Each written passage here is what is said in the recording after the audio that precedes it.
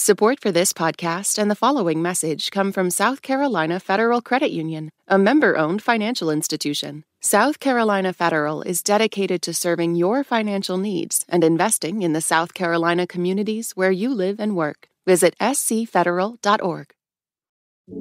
Hey everyone, you're listening to Code Switch. I'm B.A. Parker. Okay, so is it just me, or is it a stressful time right now? There are wars raging in multiple parts of the world. Presidential candidates are saying some wild things. Every few days, it feels like there's some new climate disaster or shooting or public health crisis. And while sometimes it can feel like there's nothing we as individuals can do about all that chaos out there, we still need to get through each day.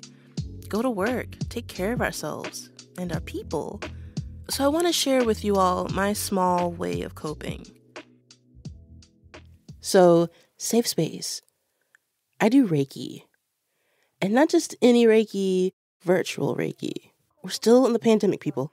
So, once a week, I meet a lady over Zoom and she sends energy into my chakras. So, we are slated to do 30 minutes together. Mm-hmm. I sit on my couch, light my candle, and place my crystals. And then this nice woman on the screen angles her hands towards the camera, setting an intention, while I feel this warm static travel through my crown and down my back. A lot of energy just whoosh through. me.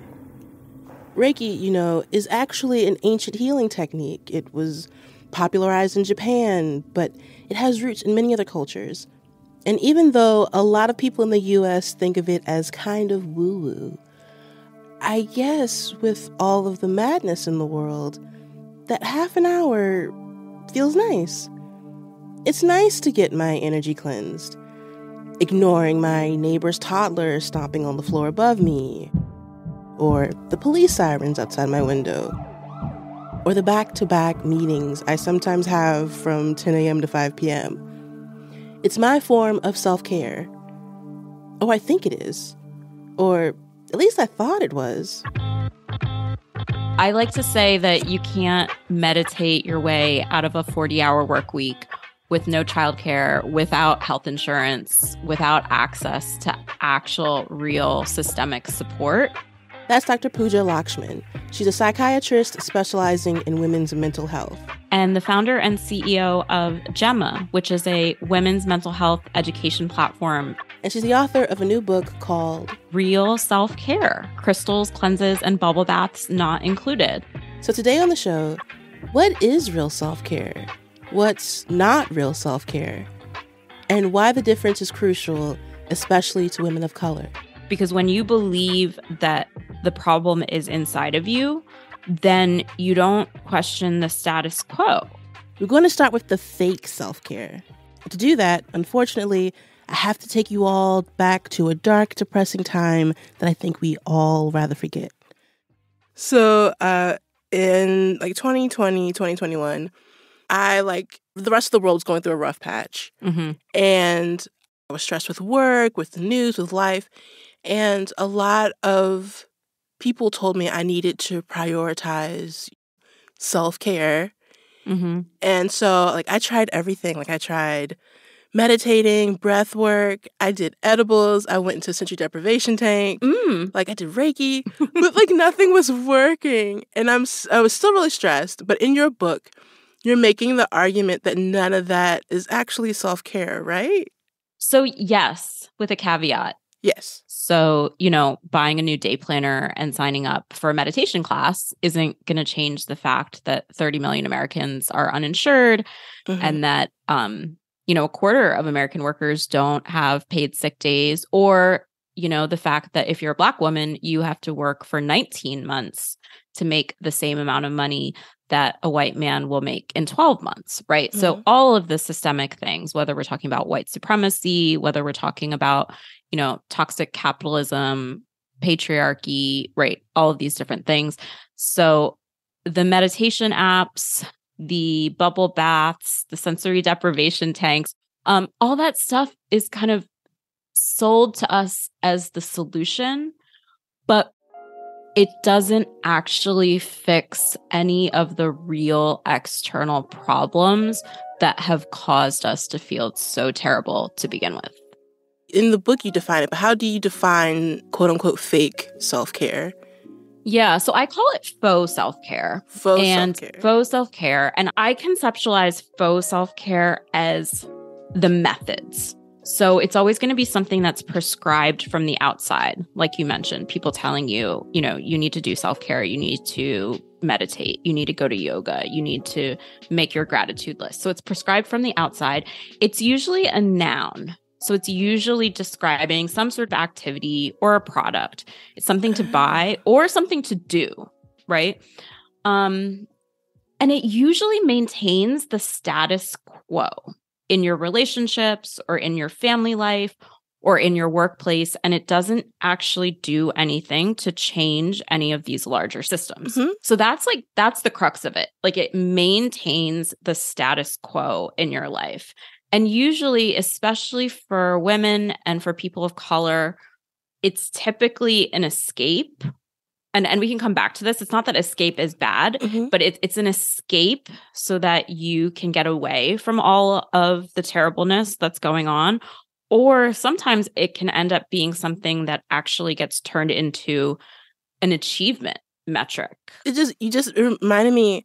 There was a few years where I was obsessed with um, spin classes, Mm, and then I realized I was so mean to myself during the spin classes that I thought it was like making me better, but it was also just making me feel really bad about myself. Well, yeah. And that's a really great point. So, the other thing with faux self care, especially when it's something that gets equated with achievement, is it usually comes with guilt and shame. Either guilt Yeah. and shame when you don't get to it, when you miss a day, right? Mhm. Or uh, that you're not doing it well enough. Right. And so, you know, the perfect example is the woman who comes into my practice and it's just like, well, Dr. Lakshmin, you know, I'm burnt out, I'm stressed out, I'm not eating well, I'm not sleeping well, and I feel like it's my fault. Right. Because I know I'm supposed to be going to yoga. Mhm. And that's exactly what you described with sort of like the spin. You know, when you believe that it's that thing that's going to fix all of your problems, then that gets turned into another measuring stick Yeah. that you're using to judge yourself and also to beat yourself up. Yeah. But then why do you think faux self care is so appealing? Yeah. Um, if you don't mind, I'm going to be a little bit ragey here. Uh, By all means, Please do. Well, because um, the entire US economy is built on the unpaid or underpaid labor of women, and particularly women of color, of Black women, of Brown women, um, of immigrants, of people who are less than in the caste system. Mhm. So we are living in an economy that is incentivized to have us believe that the solution to our problems is to buy something or to work harder. Because when you believe that the problem is inside of you, then you don't question the status quo. Mm. You don't ask yourself, well, why doesn't my employer give me paid sick days off, right? Why don't we have paid parental leave in America? Why is it so hard to find a therapist who takes insurance and is accepting new patients, right? So, the reason that self care is something that we have hoisted on to the individual is really tied up in not only capitalism Mhm. as a system, but also white supremacy. Um, Mm. you know, I specialize in women's mental health. So all my patients are people who identify as women. So a lot of my patients are mothers or Mhm. caretakers, whether that's taking care of like little kids or whether that's taking care of your aging parents, right?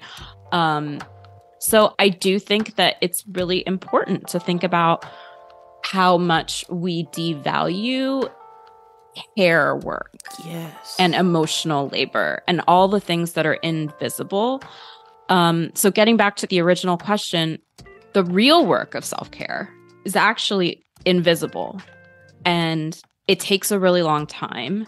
And it's not something that you can measure or check off on a list.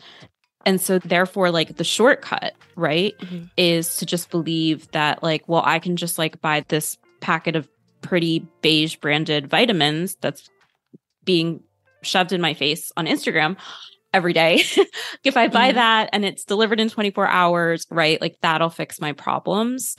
Um, as opposed to investing in the longer term risky work of looking at how am I living my life? Like, what's really important to me?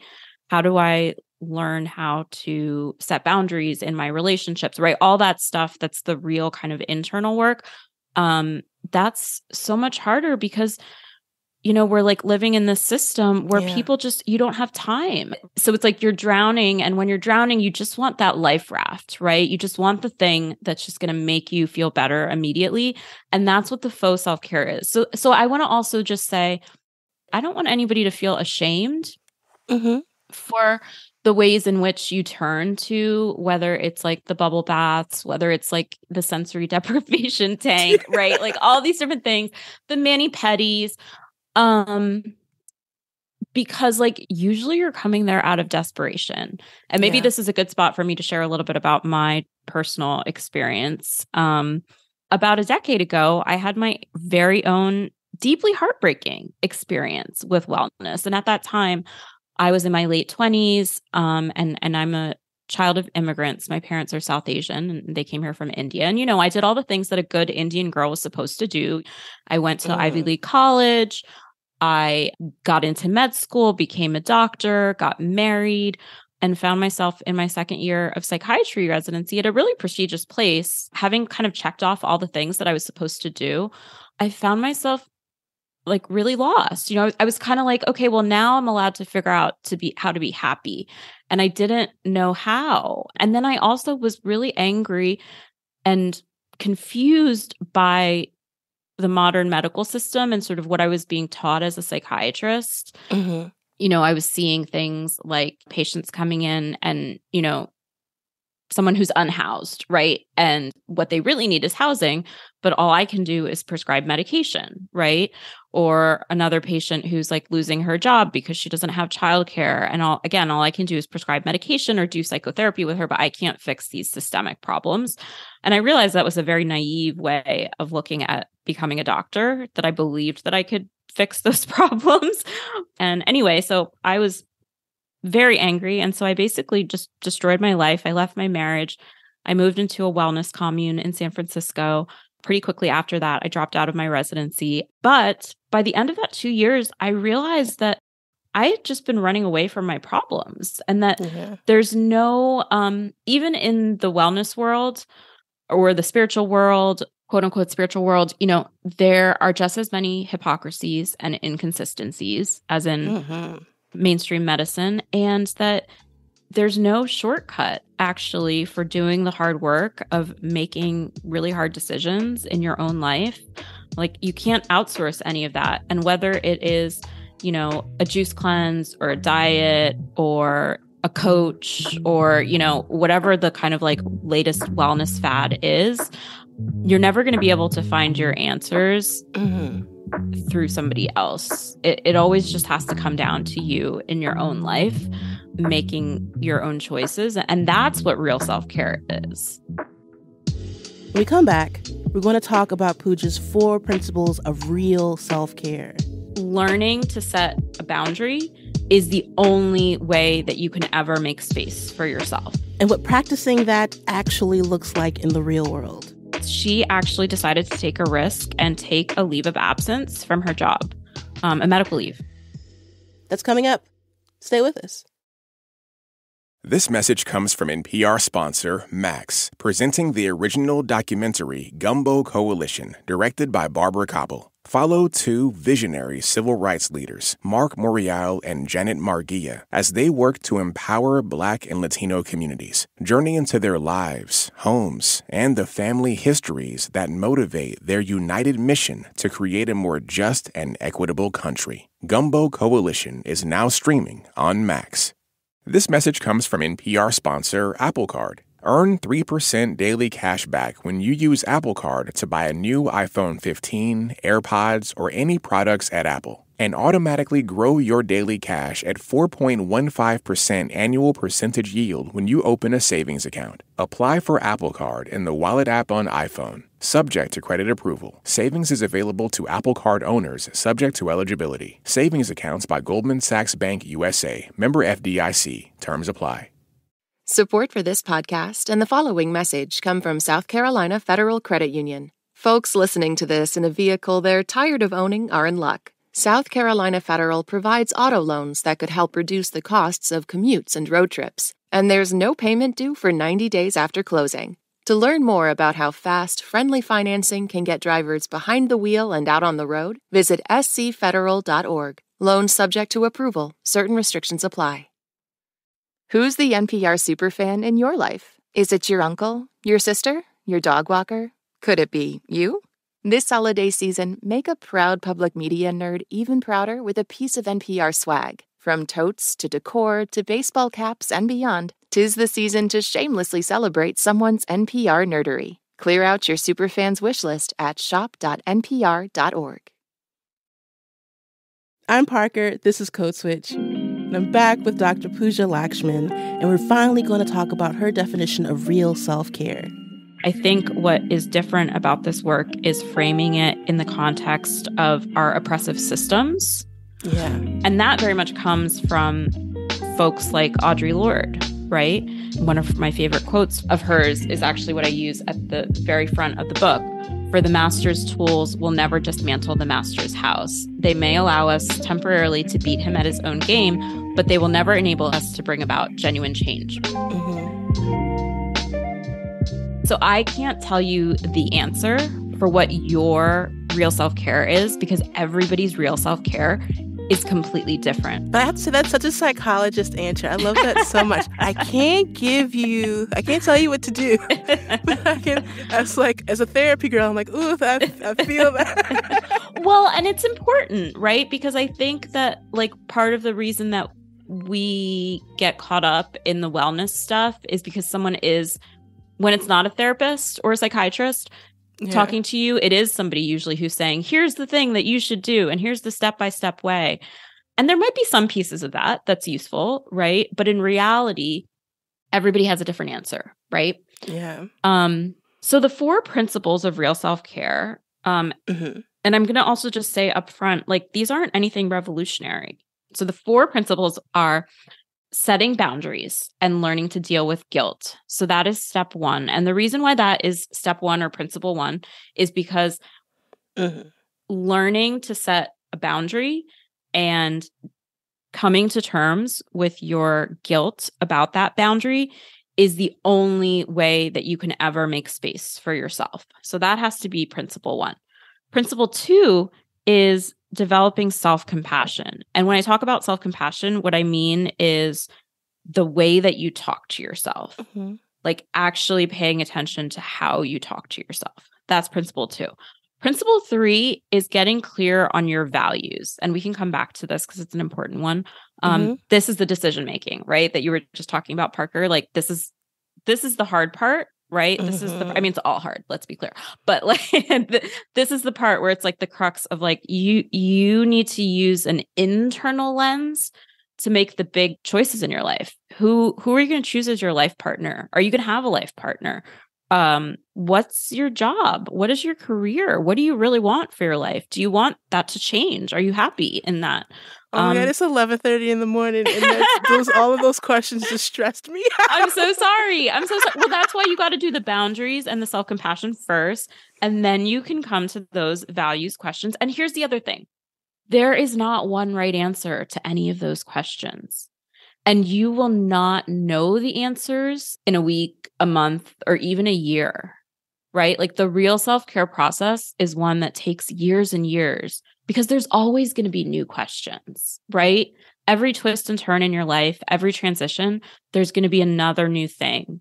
So I think what I like to do, I think when you're in that place of like, oh, there's so much I have to figure out, instead of believing that there's going to be one right answer that's like handed down, remind yourself that it's actually hundreds and thousands of small decisions that's going to get you to your answers. Mm-hmm. And that takes some of the pressure off, I think.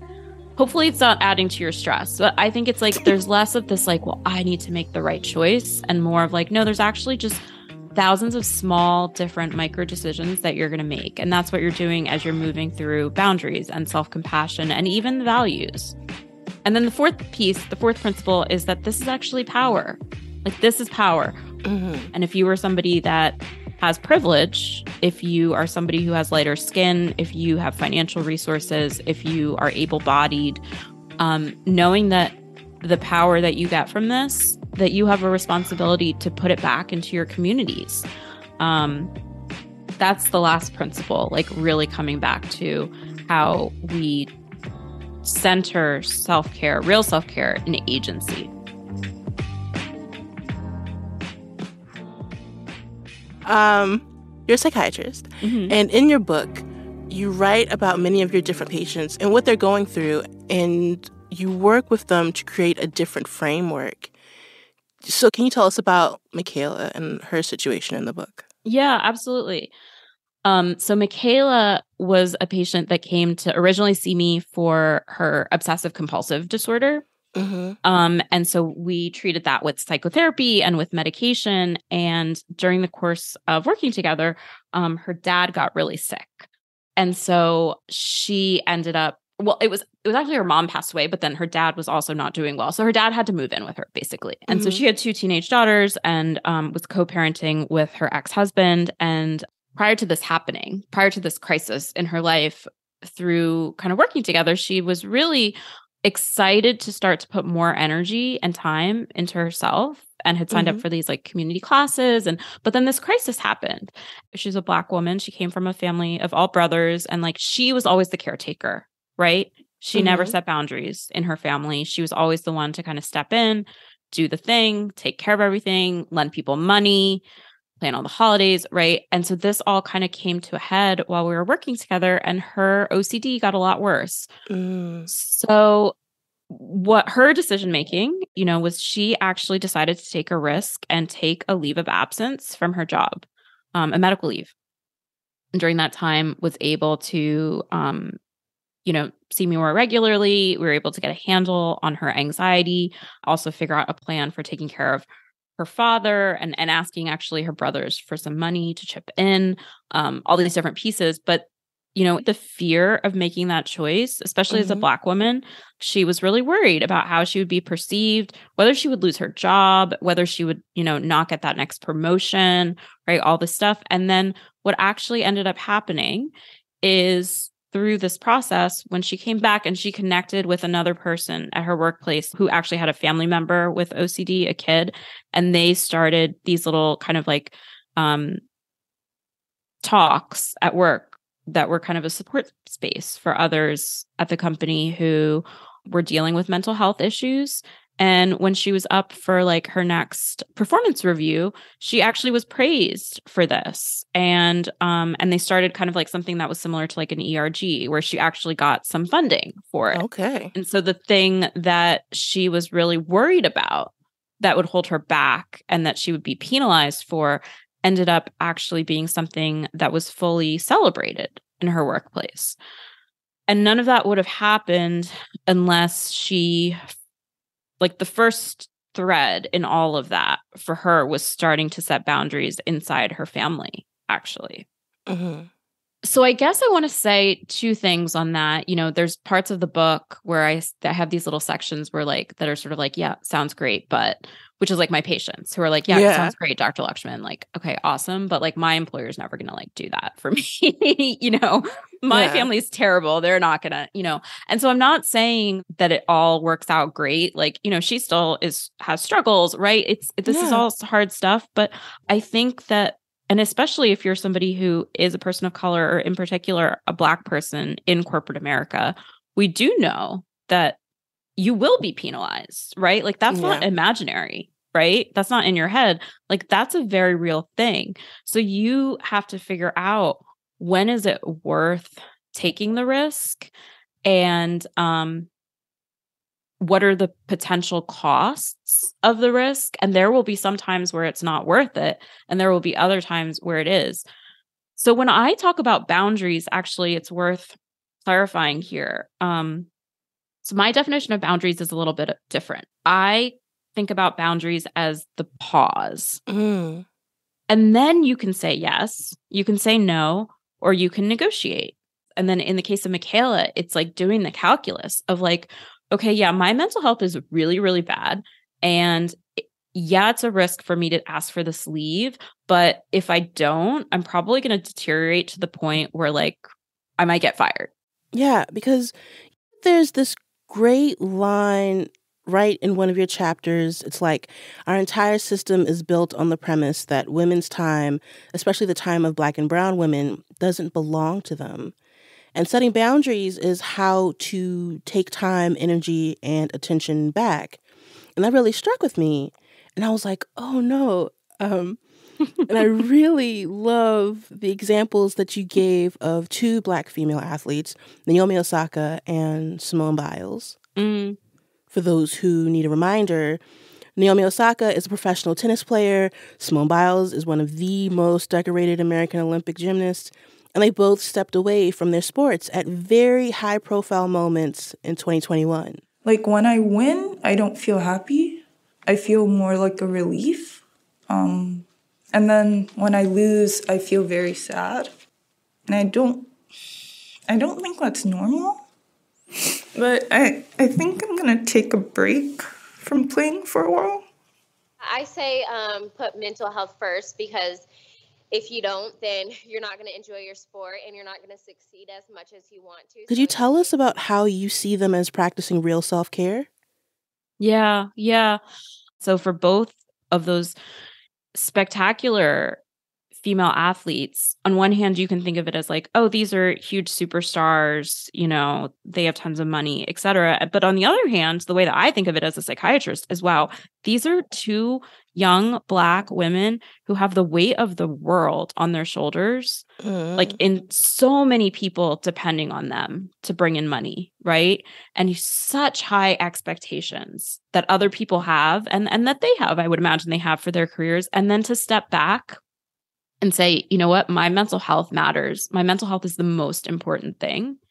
And to do that on a global stage while all the eyes are watching you know, I don't, again, I don't know anything about their own internal processes, but that looked so much like real self care to me. And that also, I feel like, was just such a poignant example of the power dynamic there. These are, again, two young Black women athletes. Um, and and there's plenty of non-black folks who are making lots of money off of their performances, yeah. right? And again, but th- for them to say, like I matter. I matter. And I'm going to trust that I can come back and I can do whatever I want, right? That that this isn't a failing, like that this is power to do this. Yeah. The thing with real self-care is there is a cost. Like there's like an emotional cost, sometimes monetary cost, societal cost. And there is also I mean, you have these high profile people like Naomi Osaka and Simone Biles who are out here doing real self care, knowing what the, like you say, weighing the risks.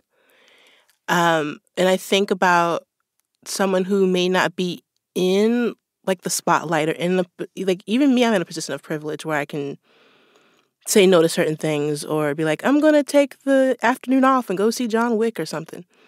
Like I think about people who are in a less privileged situation. Is it possible for them to exercise real self care? I think it is. Um, I think it looks different everywhere in every different sort of station of life. Mm-hmm. Um, when I talk about this question, the thing that always comes to mind for me is when I was a medical student. And I know that obviously, even being able to be a medical student mm. in America is a hugely privileged position to be in. And the reason that I use it as an example is because I felt at that time like I had zero choices and I was at the bottom of the ladder because I was in the medical hierarchy. And mm this was back in like 2009 ish, maybe. Um, and I was a third year med student on my surgery rotation at a hospital in North Philly. Um, and my team didn't know my name. What? Yeah. Like it was just like, hey, med student. No, you know, no. can you grab this? Yes. And so for me in, in that time of my life, real self care was asking to be called by my name. oh. And that's why boundaries are a pause, right? You take the pause and then you, yeah, like you might be working three jobs and you might have to work three jobs in order to make ends meet. And there isn't a place that you feel like you can say no yet, right?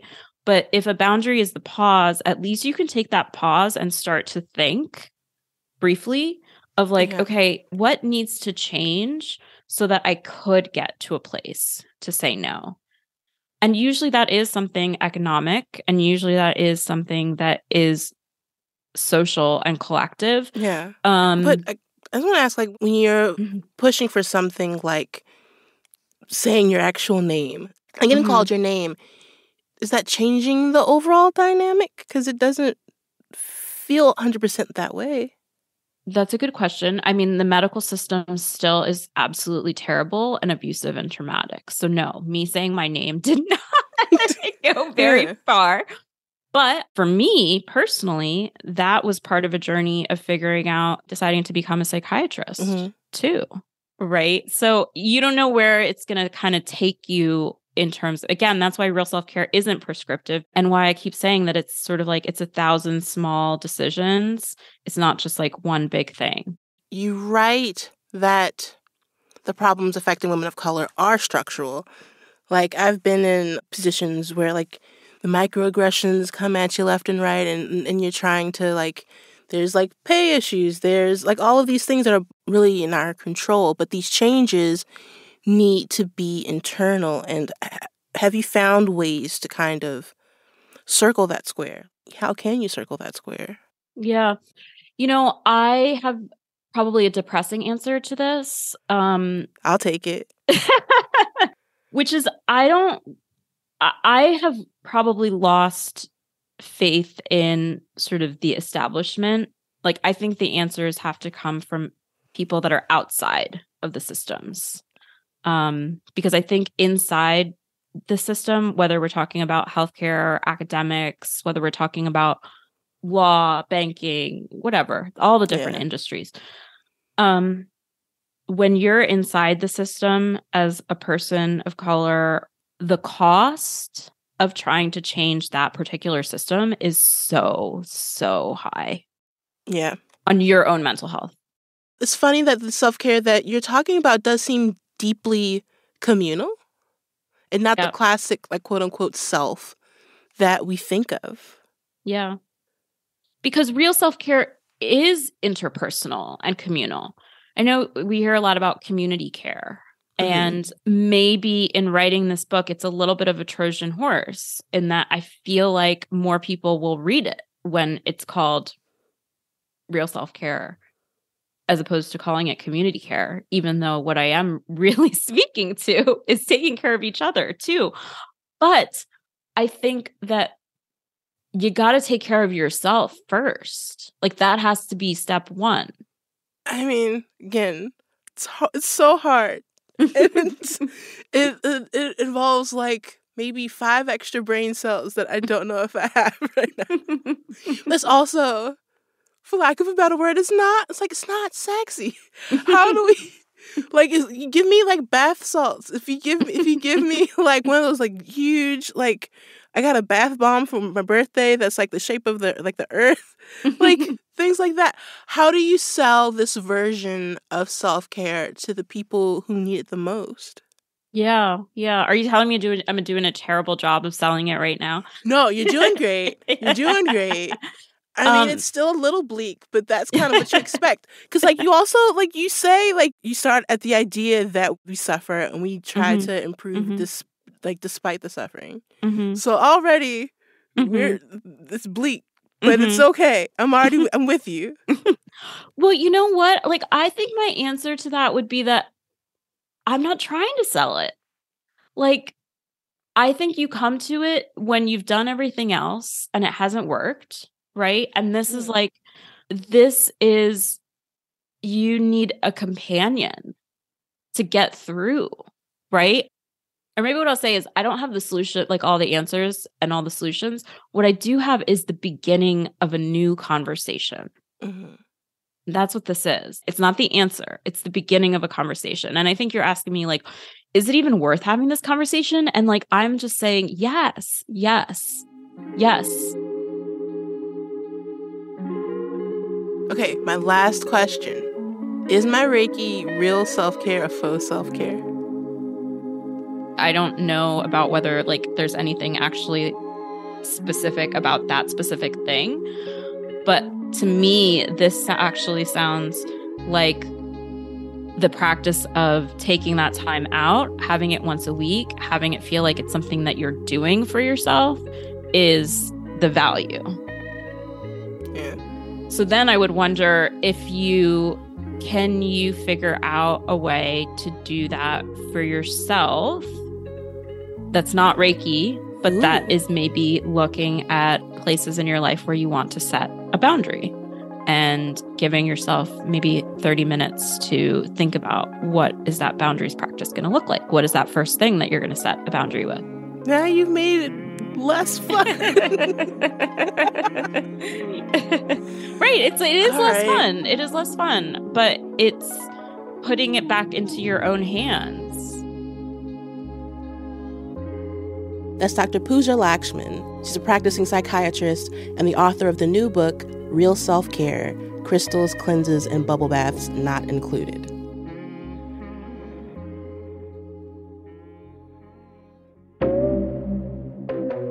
That's our show. You can follow us on Instagram at NPR Code Switch. If email is more your thing, ours is codeswitch at npr.org. We want to take a minute to say thank you so much to our Code Switch Plus supporters and anyone listening who donates to public media. After all, public media means that you, the public, support it. Everything you hear from the NPR network really does depend on your contributions. And for anyone listening who isn't a supporter yet, right now is a great time to get actively involved in creating a more informed public. That's our whole mission at NPR. That's why we're here.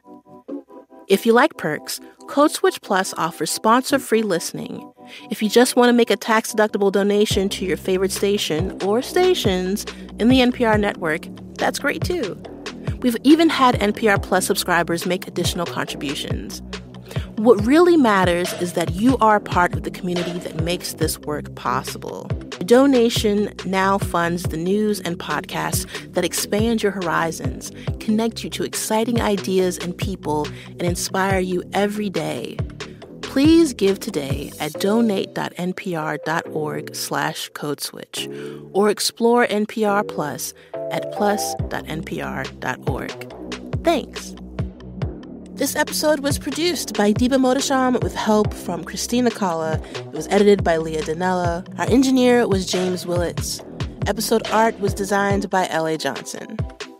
And a big shout out to the rest of the Code Switch Massive. Karen Grigsby Bates, Alyssa Jeong Perry, Kumari Devarajan, Xavier Lopez, Dalia Mortada, Jess Kung, Courtney Stein, Steve Drummond, Verlin Williams, Gene Demby, and Lori Lizarraga. I'm B.A. Parker. Hydrate. You can't just keep going to sensory deprivation tanks. Don't do it. I mean, you can if you want to, but I imagine they're really expensive. And I did it wrong. I thought I was doing it wrong the whole time, and I was mad at myself that I did was wasn't doing it properly. this message comes from NPR sponsor Doctors Without Borders. Around the world, Doctors Without Borders provides medical care wherever it's needed most. This Giving Week, make a life-saving impact. Learn more at doctorswithoutborders.org/npr.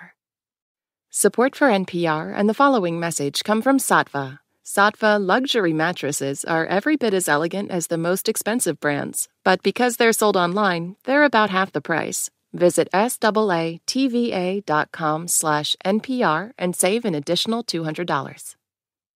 On It's Been a Minute, we talk to up and comers and icons of culture. From Barbra Streisand, You're such a wonderful interviewer. to Tracee Ellis Ross, Your questions were so wonderful. and Christine Baranski. Oh, thank you for your wonderful questions. Hear the questions these icons loved to be asked. Listen every week to It's Been a Minute from NPR.